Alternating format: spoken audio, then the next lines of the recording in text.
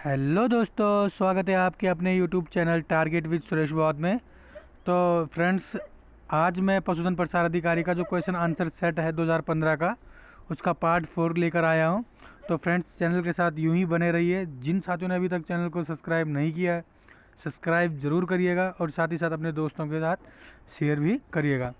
तो फ्रेंड्स, पिछली वीडियो में मैंने पूछा था कि फूलगोभी के भूरे होने की बीमारी का कारण है।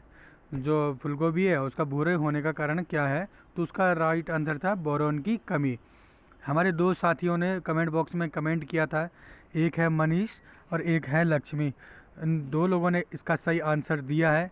देखेगा कमेंट्स का मतलब ये है कि हमें भी एक आपकी तरफ़ से पॉजिटिव एनर्जी मिलती है कि हाँ कि हमारे व्यूवर्स हमारी वीडियो को पूरा देख रहे हैं, देख रहे हैं। इससे हमें भी एक पॉजिटिव एनर्जी मिलती है। तो साथ फ्रेंड्स जितने भी हमारे दोस्त हैं व्यूवर्स हैं, वह कमेंट बॉक्स में कमेंट ज़रूर करिएगा कि वीडियो को आपको कैसी लगती है और हमें आगे क्या क्या करना चाहिए वीडियो बना के, किस टॉपिक में हमें वीडियो बनानी है, इसके बारे में भी आप हमें ज़रूर बताइएगा। तो फ्रेंड्स वीडियो को अंत तक ज़रूर देखने की कोशिश करिएगा। चलते हैं आज का जो थर्टी टू क्वेश्चन है सील के फलीपर्स यानी कि सील फिलिपर्स चिड़िया व चमकादड़ के पंख तथा घोड़ों व मनुष्य के अग्रपाद, यानी कि हाइंड लिम्ब होते हैं, किस टाइप के होते हैं? तो जिसका जो राइट आंसर था, वह है समजातीय अंग, यानी कि होमोलोगस ऑर्गन होता है। इसका थर्ड आंसर सही है। ठीक है, अब चलते हैं थर्टी थर्टी थ्री क्वेश्चन की तरफ़। प्राणियों द्वारा स्वयं लाए जाने वाले परिवर्तन से उत्पन्न होने वाले अनुक्रमण को कहते हैं। तो जो इसका राइट आंसर था, वह था स्वजनित स्वजनित, यानी कि ऑटोजेनिक सक्शन इसको कहा जाता है। इसका थर्ड यानी कि थर्टी थ्री का टू आंसर सही था। चलते हैं थर्टी फोर क्वेश्चन की तरफ़। किसी भी जनसंख्या में चयन का प्राथमिक प्रभाव है। किसी भी जनसंख्या में चयन का प्राथमिक प्रभाव है। तो इसका जो राइट आंसर था, पहला राइट आंसर था, वांछित जीन यानी कि डिज़ायरेबल जीन के आवृत्ति में बार बढ़ोतरी करना। ठीक है, इसका जो राइट आंसर था थर्टी फोर का, ये फ़र्स्ट आंसर सही था। तो चलते हैं गाइज़ थर्टी फाइव क्वेश्चन की तरफ़। थर्टी फाइव क्वेश्चन है हमारा। पॉलीपेप्टाइड निर्माण के समय कोड हस्तांतरण का सही कर्म निम्न में से कौन सा है? तो जो इसका राइट आंसर था वह है डीएनए, आरएनए, एमआरएनए, टीआरएनए और अमीनो अम्ल यानी कि इसका जो right answer first right answer सही था। तो चलते हैं आज की जो थर्टी सिक्स क्वेश्चन है ये कौन सा थर्टी सिक्स क्वेश्चन होगा ये देखिएगा।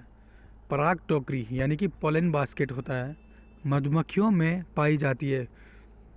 पराग टोकरी मधुमक्खी में पाई जाती है। पराग टोकरी कहाँ पाई जाती है? यानी कि पोलन कलेक्ट करने के लिए जो पराग टोकरी होती है, वह कहाँ पाई जाती है? तो इसका जो राइट आंसर था, इसका राइट आंसर है हाइंड हाइंड टीबिया में, पिछले पैर की टीबिया में पोलन बास्केट पाई जाती है। तो थर्टी थर्टी सेवन की क्वेश्चन की तरफ़ चलते हैं। मृदा में विभिन्न वर्गों के कणों के अपेक्षित अनुपात को कहते हैं। यानी कि जो इसका पार्टिकल साइज़ को क्या कहते हैं, जो विभिन्न ऑर्डर होते हैं इसमें तो इसको क्या कहा जाता है? थर्टी सेवन का जो राइट आंसर था, वह सॉइल टेक्सचर यानी कि फ़र्स्ट क्वेश्चन इसका फ़र्स्ट आंसर इसका सही था सॉइल टेक्सचर अब चलते हैं थर्टी एट क्वेश्चन की तरफ़। उच्च वर्गीय पौधों की जड़ों एवं कवक की सहजीविता को इस नाम से जाना जाता है। यानी कि किस नाम से जाया जाता है उच्च वर्गीय पौधों की जड़ों एवं जो कवक एसोसिएट होते हैं, जड़ों में, उच्च वर्ग के पौधों की जड़ों में, उसे किस नाम से जाना जाता है? तो इसका राइट आंसर था दोस्तों, माइको राइजा। यानी कि सेकंड आंसर इसका सही था। तो आज की तरफ़ जो थर्टी नाइन क्वेश्चन है, यानी कि नेक्स्ट क्वेश्चन हमारा अल्टरनेथेरा इकाईनेटा है।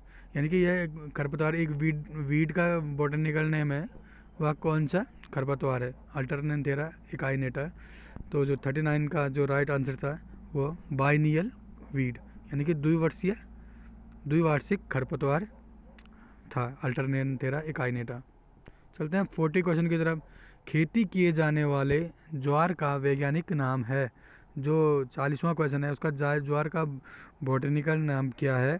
वह था सोरगम बाई कलर यानी कि दूसरा राइट आंसर इसका। सही था। तो गाइज़ जिसने भी, साथियों ने अभी तक वीडियो को सब्सक्राइब नहीं किया हो, ज़रूर सब्सक्राइब करिएगा और ज़्यादा से ज़्यादा शेयर करने और कमेंट ज़रूर करिएगा।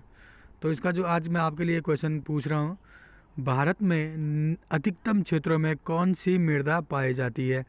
ये है इसका आंसर हमारे व्यूअर्स बताएँगे कमेंट बॉक्स में जाके, ताकि हमें, मैंने अभी बोला, पहले भी वीडियो शुरू करने से पहले बोला था कि, ताकि मुझे भी एक पॉजिटिव अप्रोच मिले कि हाँ कि हमारे व्यूवर्स हमारे वीडियो को पूरा देखते हैं तो इसका आंसर हमें ज़रूर बताइएगा कि भारत में अधिकतम क्षेत्रों में कौन सी मृदा पाई जाती है। तो कमेंट बॉक्स में ज़रूर बताइएगा। जिन साथियों ने अभी तक हमारे चैनल को सब्सक्राइब नहीं किया है सब्सक्राइब भी करिएगा और कमेंट बॉक्स में कमेंट करिएगा। थैंक यू जय हिंद, जय भारत।